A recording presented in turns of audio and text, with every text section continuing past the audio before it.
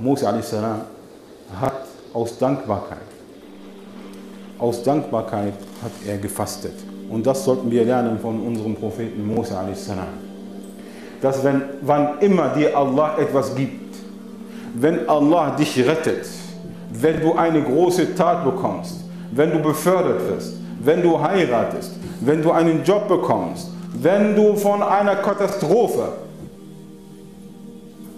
die verhindert wird, wenn du davon kommst, wenn dein Leben gerettet wird, wenn dein Sohn gerettet wird, wenn du bestehst, dass du Allah dankst.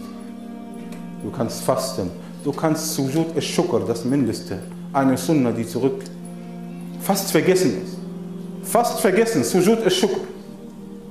Dass man sich aus Dankbarkeit, egal wie du dich befindest, wo du dich befindest, leg deine Stirn auf den Kopf und sag Danke, ja Allah. Danke, ja Allah. Und diese Sunde, wer macht das?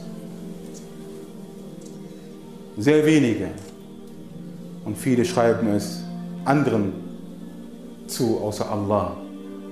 Aber Alhamdulillah, in letzter Zeit sieht man, auch wenn es im Sport ist und wenn es nicht in einer Zeit ist, in einem Sport ist, der wirklich gut ist, beim Fußball sieht man einige Fußballspieler, die nach dem Tore schießen, Sujud machen. Und andere Kämpfer, die in einem bestimmten Sport auch Sujud machen.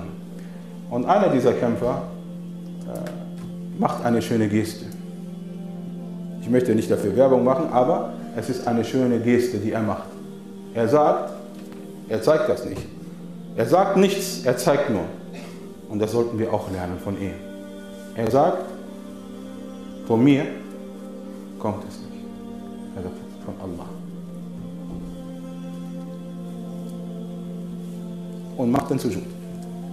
Wenn wir das lernen, wenn wir das von ihm lernen, von unserem Bruder Habib, möge Allah ihn festigen und noch stärken und ihn über die ganzen Menschen siegreich hervorgehen lassen.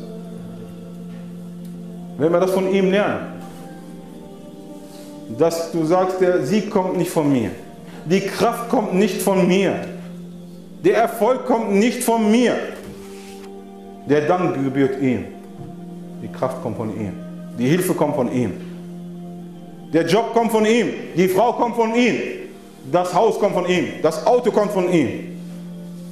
Dass ich gerettet bin, kommt von ihm.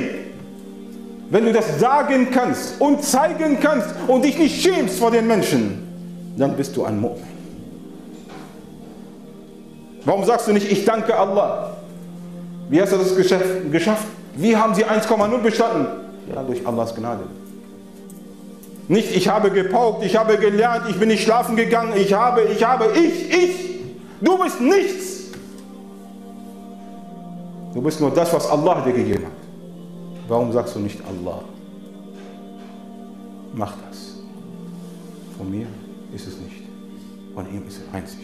Möge Allah uns festigen und uns das Wissen geben und danach handeln lassen. Amen.